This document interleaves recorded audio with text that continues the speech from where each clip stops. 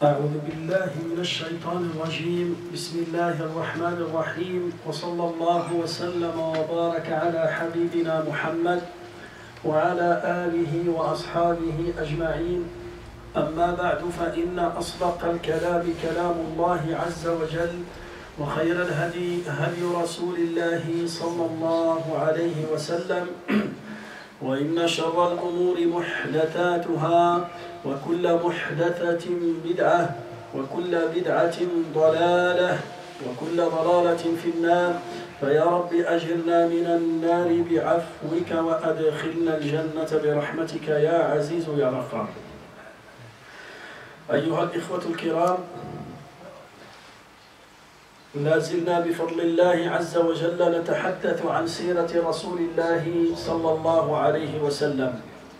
وبعدما ذكرنا نزول الوحي وتكلمنا عن أنواع الوحي وعن معنى الوحي وتكلمنا عن جمع القرآن بدأنا بالحديث عن الدعوة إلى الله.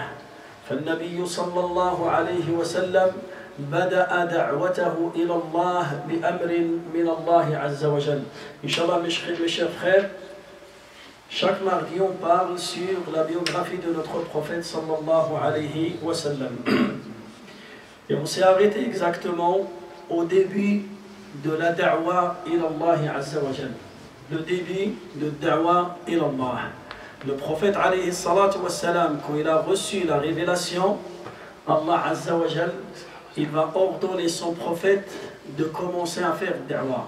Mais il faut savoir que la da'wa ilallah, il y a deux étapes هنالك المرحلة الأولى اسمها الدعوة السرية La première étape, le prophète alayhi salatu wassalam, il a commencé de transmettre le message d'Allah en secret. Il a commencé à transmettre le message d'Allah en secret. Deuxième étape, al-da'watul jahriyah.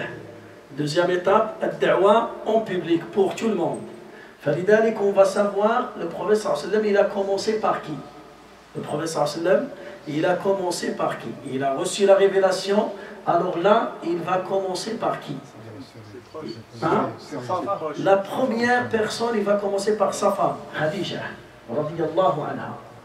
Regardez, là, son oncle est encore vivant l'oncle du prophète sallam Abu Talib est-ce qu'il est vivant ou pas?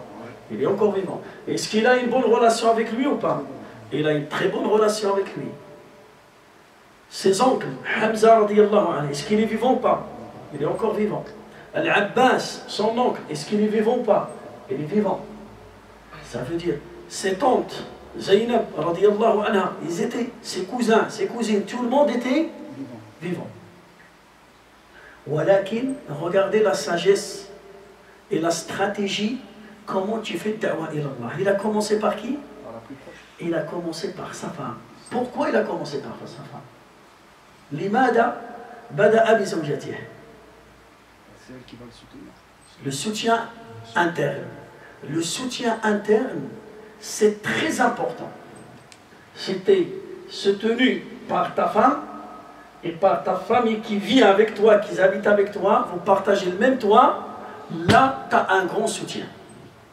Et Allah Ta'ala Allah nous a raconté l'histoire de Nuh alayhi le prophète Nuh alayhi. Qui l'a trahi Sa femme et, son fils. C'est pour ça il est resté longtemps Il est resté combien? Peut-être 9 siècles. 950 ans. 950 sana. ولقد أرسلنا نوحا إلى قومه فلبث فيهم ألف سنة إلا خمسين عاما Alors là, pourquoi Parce qu'il avait vraiment des ennemis qui étaient contre lui à l'intérieur. L'autre, alayhi salam, le prophète Lot, qui a refusé son appel à Allah, qui a refusé le message d'Allah. Le premier, c'est sa femme. Ils étaient avant son peuple, avant sa famille, avant ses amis, avant ses voisins, avant les étrangers, il a trouvé une difficulté avec qui? Avec sa femme. Là, ça nous montre l'importance de la stabilité entre les couples. quand toi et ta femme, vous êtes stable, vous avez une bonne relation entre vous, et vous avez le même but, tu vas vivre le bonheur. Tu vas vivre le bonheur. Même si à l'extérieur, tu as des problèmes avec tout le monde. Mais avec ta femme, tu es bien. Tous les deux, vous êtes bien avec Allah, c'est bon. Tous les problèmes de l'extérieur, ils vont se régler. Mais si tu as le problème interne, toi, tu veux partir à droite et ta femme, il veut partir à gauche. Alors comment tu vas faire? Il vit avec toi, jour et nuit, matin et soir. Vous avez, vous avez, vous avez des enfants entre vous.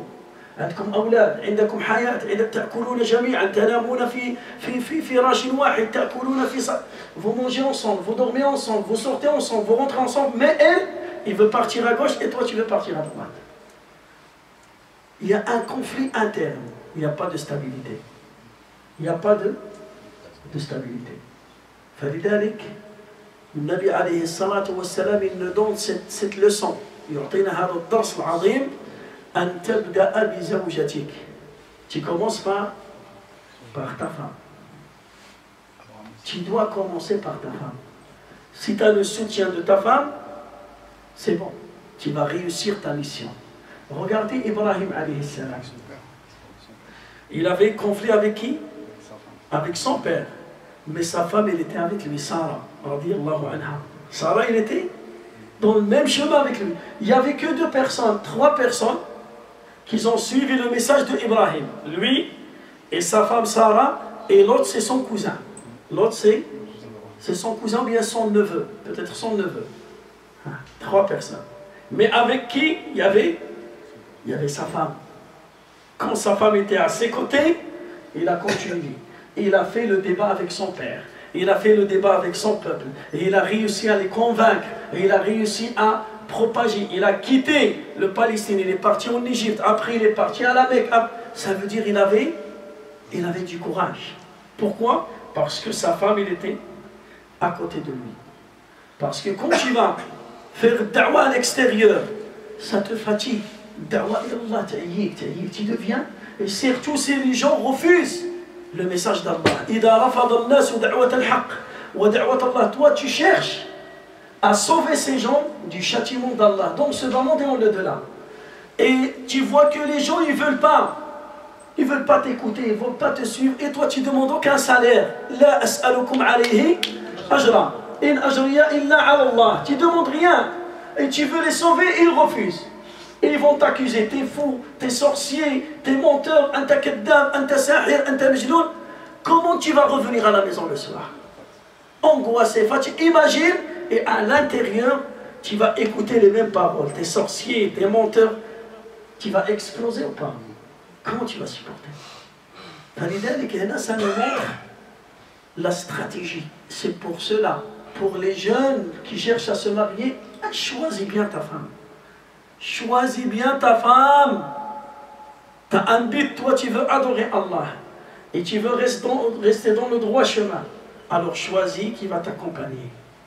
Ne choisis pas une femme qui va te reculer, ou bien qui va te couper le chemin, ou bien qui va te changer le chemin. Choisis. Au début, avant, nous malheureusement, quand on veut se marier, comment on l'utilise?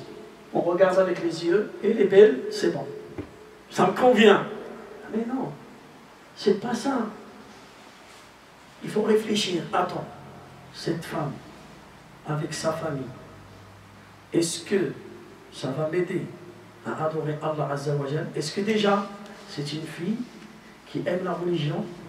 Est-ce qu'il est prête à changer, à améliorer sa relation avec Allah ou pas? Sa famille, est-ce que c'est une famille qui vont l'encourager s'il se met dans le droit chemin ou bien ils vont être contre elle? Si, parce qu'il y a des familles, la fille, quand il se marie, il porte le voile, sa mère, son père Golhan ne vient pas chez nous. Alors, comment il va vivre cette fille, par exemple? Comment il va vivre? Son mari, il est content parce qu'il a porté le voile. Ses parents, ils ne sont pas contents. Elle, il veut arrêter son travail. Il veut dire, moi, je vais m'occuper de mon mari, de mes enfants, par exemple. Et ses parents, ils disent, ah non, il ne faut pas arrêter le travail. parce qu'ils nous aident, parce que... Alors comment tu vas faire Alors au début, il faut choisir. Cette femme, elle et sa famille, est-ce qu'ils vont m'aider à continuer ou bien ils vont me bloquer هل سيشجعوني ويعينوني على طاعة الله أو سيعرقلون مسيري إلى الله Il marche, non Non, c'est pas droit. كيف باش راسك دابا سي بون سي بون كنعدل معاك Il y avait le son. Il y avait le son. On s'excuse pour les 5 minutes. Alors là, le professeur il a commencé par qui Par sa femme. Si c'est bon, il a la garantie que sa femme, il sera avec lui, il va le soutenir, c'est bon. Il a préparé un soutien interne. Et quand il va retourner de l'extérieur, il va trouver la tranquillité, il va trouver la sérénité, il va charger la batterie. Il va lui dire, patiente, Allah il va t'aider, je suis avec toi, je fais des avec toi, c'est pas grave, tu n'as pas travaillé aujourd'hui, on va patienter, demain on va jeûner, il va, il va le soutenir quand il a des problèmes dans son travail, attends, Allah il va dire, moi je vais faire, je vais essayer de t'aider, je vais essayer de, de gratter par là, de, de, faire des économies. Je... c'est bon. Quand tu as des enfants avec elle, tu es tranquille, tu sais qu'ils sont dans des mains propres. Il va les orienter vers le droit chemin. Il va leur donner une belle éducation, même si toi tu es occupé à l'extérieur pour ramasser, pour travailler, pour subvenir à ses besoins, aux besoins de ses enfants, elle, il va garantir vraiment une, une bonne éducation pour les enfants. C'est bon, t'es tranquille. Il a commencé par sa femme. Son oncle était vivant. Abu Talib, il avait une bonne relation avec lui, il était vivant. Hamza, il était vivant. Ammoul Abbas, il était vivant. Ses cousines, ils étaient vivants. Ses amis, ils étaient là. Bada Abiman, il a commencé par qui Il a commencé par sa femme. Khadija radiallahu anha, فأعانته بمالها وأعانته بخبرتها وبحنكتها. Nabi alayhi salatu wassalam, à ce moment-là, quand il va transmettre le message à Khadija, maintenant ils ont passé entre eux 15 ans de mariage. Maintenant, il y a combien de mariages entre eux? 15 ans. Léna, lui, il s'est marié avec elle à l'âge de 25 ans et il a reçu la révélation à 40 ans. Ça veut dire combien? 15 ans. 15 ans. Alors 15 ans de mariage entre les deux, cette femme, vite, il a accepté le message de Nabi Sallam. Pourquoi il a accepté? Vite le message de Nabi Sallam il connaît, il connaît son mari. Il sait ce qu'est cet homme-là. Il sait que ce n'est pas un roi. Elle, elle, avec eux deux elle, elle connaît la valeur de son mari. Il sait que ce n'est pas un menteur. Ce n'est pas un arnaqueur. Ce n'est pas quelqu'un qui parle en l'air. C'est quelqu'un qui est sage c'est quelqu'un qui est intelligent, c'est quelqu'un qui est posé, c'est quelqu'un qui, fait du bien. Il connaît sa relation avec sa famille, il connaît sa relation avec ses, filles, ses enfants, il connaît sa relation avec ses voisins, avec tout le monde, il connaît sa relation. Alors c'est pour cela, quand il a proposé à sa femme la religion, il n'a pas refusé. Nous, le problème maintenant, c'est quoi? Maintenant, deux jeunes, ils vont se marier. Et, là, c'est un grand problème. Moi, toujours, je reçois des jeunes, des plaintes. Il est venu me voir un jeune, Barbi, Allah, et il m'a dit, ma femme, il ne veut pas prier. Ça fait 5 ans, 6 ans. On est mariés 6 ans. il ne veut pas prier. Je lui fais dawa, il ne veut pas prier. Et il ne veut pas porter le voile. Et maintenant, on a trois enfants ensemble. Est-ce que je peux la divorcer?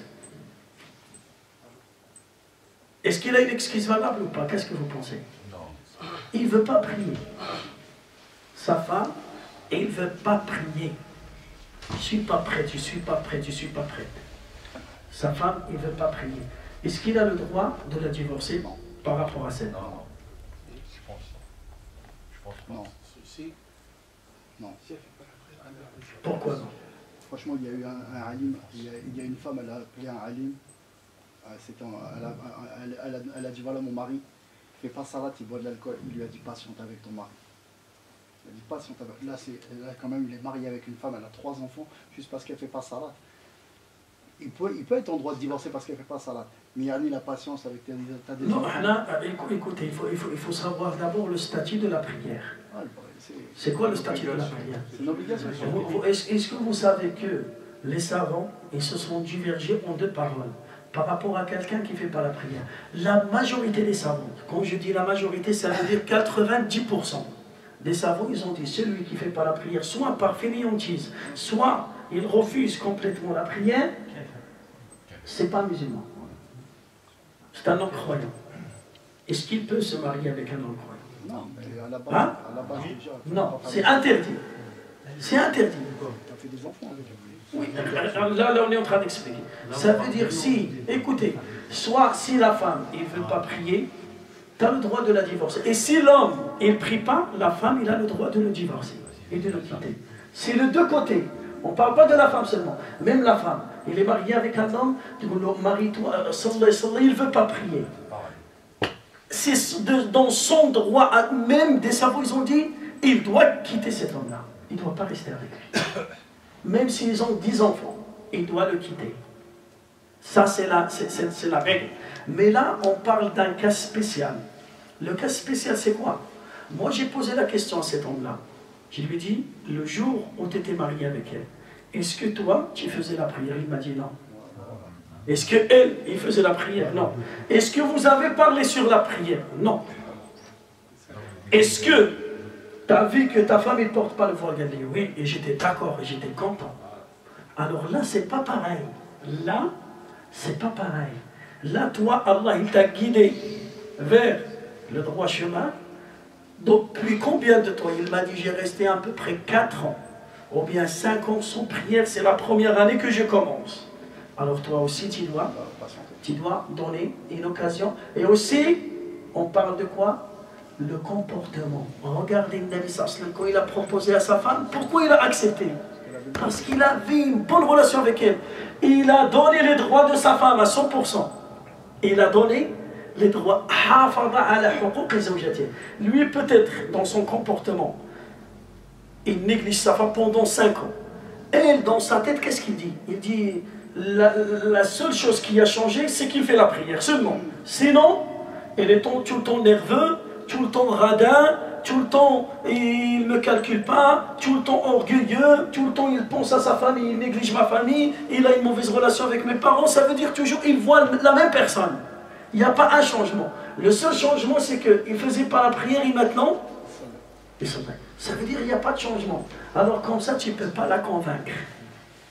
Comme ça, tu ne peux pas convaincre cette femme à te suivre. Il, va pas il a le droit de ne pas te suivre. Pourquoi? Parce que tu n'es pas un bon représentant de, de, de, cette prière. Inna. Normalement, quand tu commences. Avant, tu priais pas. Maintenant, tu as commencé la prière. Normalement, on doit savoir ça dans ton comportement. Ta mère, il doit savoir que tu as changé. Ton père, même, même les animaux, tu vois les, amis, les animaux, ils doivent sentir que tu as changé. Les animaux. La terre, la terre elle-même, il doit sentir que tu as changé. La façon de marcher, avant que tu pries, tu marches comme ça, tu t'en foutais, mais maintenant, tu marches avec voilà. Avec mon comportement, tu marches doucement. Alors, même la terre, il va témoigner que tu as changé. Nous, maintenant, c'est quoi?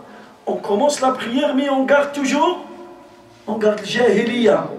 On garde le jahiliya, l'ancien jahiliya. Il était vulgaire, tout le temps vulgaire. Nerveux, tout le temps nerveux. Euh, il veut se, bagarrer avec les gens, tout le temps. Maintenant, il a changé. La barbe, elle est là. Le khamis, elle est là. Il vient à la mosquée, mais tout le temps, il n'y a pas de changement. Ça veut dire qu'il ne profite pas de cette prière. Pourquoi? Parce qu'il a commencé la prière par ignorance. Il n'a pas commencé la prière par amour à Allah et par regret et par repentir. Non. هذا بدأ يصلي هكذا اتباعا للهوى. C'est bon. C'est une mode. C'est une mode. Tout le monde prie, je vais prier. ولا le une tradition. فلذلك le musulman qui veut convaincre sa famille, fi da'wa ilallah, tu veux que tes enfants fréquentent la mosquée, tu veux que ta femme fréquente la mosquée, tu veux que tes frères, tes parents, tu veux donner une bonne image, alors corrige ta relation avec ces gens-là, le comportement. Nabi sallam, il a vécu 15 ans avec sa femme. Le jour où il est venu, il a raconté l'histoire qui s'est passée à la grotte de Hira, Khadija lui a dit Je te crois à 100%. Il n'a pas douté. Khadija anha, il n'a pas douté.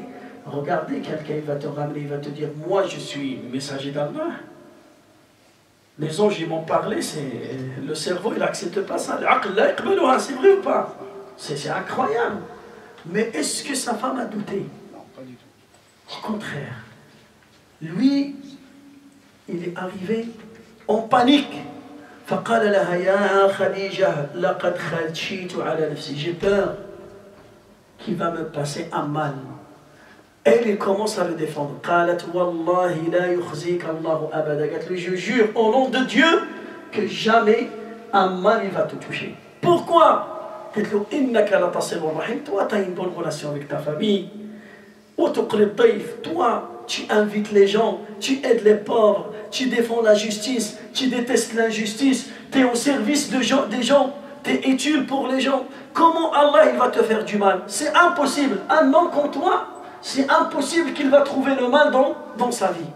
Alors elle, elle a témoigné par rapport à son comportement. Avec nous, si on veut convaincre les musulmans et les non-musulmans, même qui travaillent dans un endroit avec les non-musulmans, tu veux les convaincre à rentrer dans cette religion, ou bien à aimer cette religion, ou bien à défendre cette religion avec ton comportement. Et quand je dis avec ton comportement, ça ne veut pas dire que tu vas te mépriser, tu vas te rabaisser et tu vas faire les choses, tu vas leur faire plaisir. Non, pratique ta vraie religion. Dans ton travail, ne triche pas. Sois un homme de parole tu as donné une parole à quelqu'un, musulman non musulman, respecte ta parole. Tu as fait un commerce avec quelqu'un, sois honnête. Quelqu'un, il, a, il a fait la faute avec toi, sois pardonneur. Cherche des excuses, donne des excuses aux gens. Quelqu'un, tu as pris les droits de quelqu'un, rends-lui ses droits. Tu as fait la faute et quelqu'un t'a conseillé, accepte le conseil. Alors avec ce comportement, qu'est-ce que tu vas... Tu vas réussir à donner une image, la vraie image de l'islam. Maintenant, malheureusement, pourquoi il y a des attaques sur l'islam? C'est à cause des musulmans, c'est pas à cause de la religion. La religion, elle est propre. Elle est propre, elle est claire, mais à cause de nous. Nous, on, présente mal, on est des mauvais, des mauvaises représentants de l'islam. Même avec nos proches. Moi, je commence par la famille. l'imam ابن تيمية رحمه الله يقول أقم دولة الإسلام في بيتك pratique la religion sur toi-même et avec ta famille les gens à l'extérieur ils vont pratiquer la religion mais toi tu cherches que les gens pratiquent la religion et toi tu la pratiques pas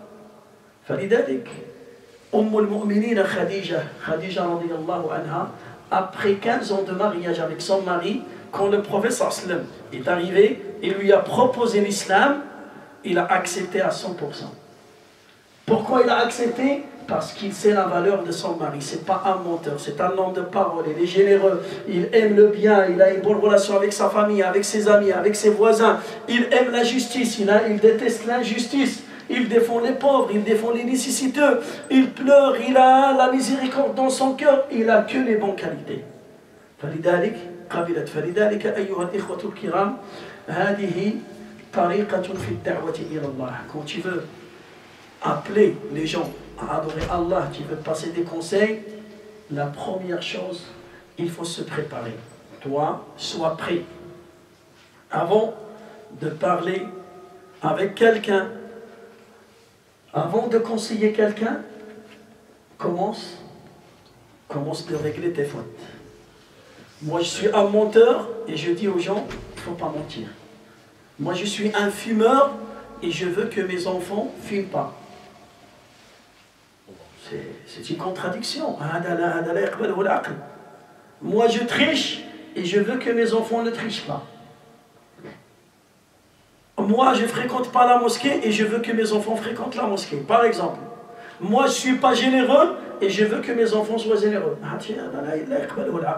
فلذلك الله تعالى يقول في القرآن الكريم يا أيها الذين آمنوا لم تقولون ما لا تفعلون كبر مقتا عند الله أن تقولوا ما لا تفعلون الله تعالى عيب وعير أهل الكتاب فقال لهم أتأمرون الناس بالبر وتنسون أنفسكم وأنتم تتلون الكتاب أفلا تعقلون Comment Vous ordonnez les gens à faire du bien et vous, vous ne le faites pas Vous êtes sérieux Vous avez la raison Vous êtes raisonnable Il n'y a pas de raison. فلذلك المسلم il doit commencer par, par lui-même. يقول أبو الأسود الدؤلي رحمه الله هذا c'est un poète c'est un poète et lui c'est pas un compagnon هذا من التابعين il a vécu à l'époque de Sahaba à l'époque de Omar ibn Khattab à l'époque de Abu Bakr le jour cet homme-là Abu al-Aswad Ali le jour où il est arrivé à Médine pour embrasser l'islam c'était le jour du décès du prophète sallallahu ça veut dire il n'a pas vu le prophète sallallahu alayhi wa sallam لم يرى النبي فأسلم. يقول dit une poésie qui parle sur, sur notre sujet. Il faut pratiquer sur toi-même avant d'appeler les gens à pratiquer. يقول ألا أيها المعلم غيره؟ هلا لنفسك كان ذا التعليم؟ تصف الدواء لذي السقام وذي الضنا كيما يصح به وأنت سقيم. وأراك وأراك بالرشاد تصلح عقولنا أبدا وأنت من الرشاد بعيد.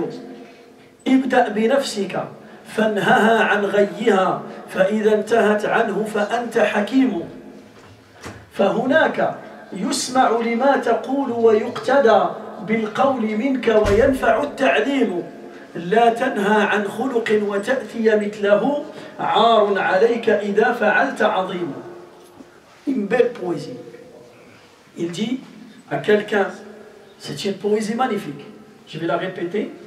Vous, voyez la beauté de la langue arabe ou pas hein? C'est beau. On va la répéter. ألا أيها المعلم غيره هلا لنفسك كان ذا التعليم Ô toi qui enseigne les gens. Pourquoi Commence par, commence par toi-même. ألا أيها المعلم غيره هلا لنفسك كان ذا التعليم تصف الدواء لذي السقام وذي الضنا كيما يصح به وأنت سقيم Tu donnes des remèdes et des solutions aux gens et toi tu es malade. Prends ces remèdes à toi-même. C'est comme un médecin qui te donne un médicament pour arrêter de fumer et lui c'est un fumeur. تصف الدواء لذي السقام وذي الضنا كيما يصح به وأنت سقيم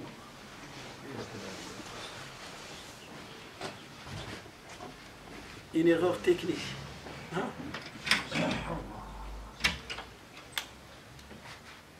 On s'excuse une erreur technique. Ça sort de notre contrôle. C'est rechargeable ça, non?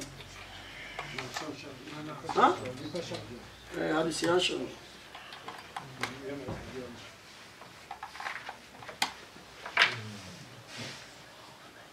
Allez, c'est pas rechargeable. Il y, a, il, y a, y a une, il y a une sadaqa il y a celui qui veut faire une sadaqa il ramène des piles. Ça, c'est une aumône continue. Hein? Pour le vendredi, pour les conférences, pour les annonces, il va gagner toujours le hasanat. Voilà. Alors là, qu'est-ce qu'il dit يقول ألا أيها المعلم غيره هلا لنفسك كان ذا التعليم تصف الدواء لذي السقام وذي الضنا كيما يصح به وأنت سقيم وأراك بالرشاد تصلح عقولنا أبدا وأنت من الرشاد بعيد Et je te vois, tu nous donnes des sagesses et tu nous indiques des bonnes choses et toi t'es pas sage. Et toi tu fais le contraire. ابدأ بنفسك فانهها عن غيها فإذا انتهت عنه فأنت حكيم commence par toi-même et si tu as réussi à changer tes défauts alors tu es le meilleur sage tu es le plus sage ابدأ بنفسك فانهها عن غيها فإذا انتهت عنه فأنت حكيم فهناك يقتدى فهناك يسمع لما تقول ويقتدى بالقول منك وينفع التعليم à ce moment-là quand tu parles les gens ils vont écouter tes paroles et quand tu ordonnes les gens ils vont pratiquer tes ordres ils vont te suivre فهناك يسمع لما تقول ويقتدى بالقول منك وينفع التعليم لا تنهى عن خلق وتأتي مثله عار عليك إذا فعلت عظيم N'interdis pas un mal et toi tu es en train de le faire. Et si tu fais ça, c'est une honte pour toi. عار عليك, c'est une honte pour toi. فلذلك, le prophète alayhi salatu wassalam, quand il a proposé l'islam à sa femme Khadija, sa femme Khadija, il n'a pas douté, il n'a pas refusé, il a accepté à suivre le prophète sallallahu alayhi wa sallam. Ça c'est une leçon pour nous. Si tu veux que ta femme te suive, si tu veux que ton mari te suive, si tu veux que tes enfants te suivent et suivent la religion, dans l'exemple. Soit, soit un exemple فاللهم علمنا ما ينفعنا وانفعنا بما علمتنا وزدنا علما يا رب العالمين سبحان ربك رب العزة عما يصفون وسلام على المرسلين والحمد لله رب العالمين.